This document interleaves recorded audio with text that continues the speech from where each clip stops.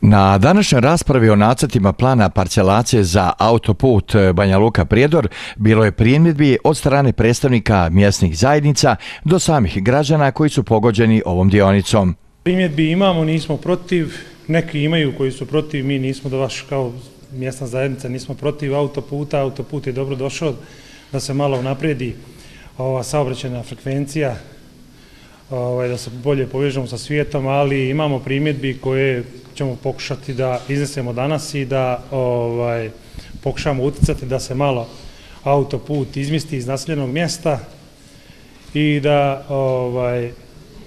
pokušamo da, da se ne ruše objekti koji je predviđeno dosta objekata kroz naselja koje se ruše, se, praktično kroz Trnopolje se ruši jedna ili dve kuće, a u ovim drugim mjestnim zajednicama ima malo veći, veći broj naseljenog mjesta gdje se ljudi iseljavaju. Predstavnici vlasti i delegati u Skupštini su također prisustvali na ovoj javnoj raspravi i, kako kažu, tu su da podrže plan, ali sa što manje štete za građane koji su obuhvaćeni ovom trasom i da se i lično uvjerim koja je to trasa autoputa. Ono što ja mogu reći u, ono, u ime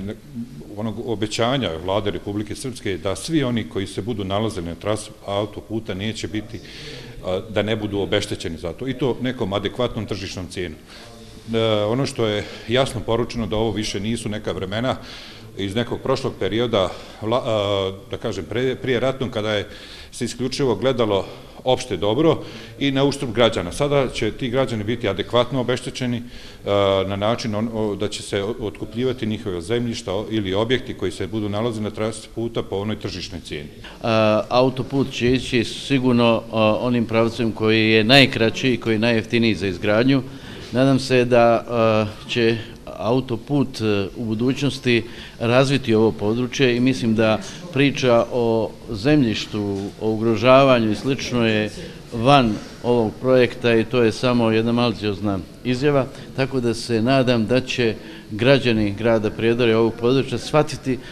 značaj autoputa i da neće doći do nekakvih problema i mislim da će autoput ići onim pravcem koji je najjeftiniji i najbolji za građane grada Prijedora,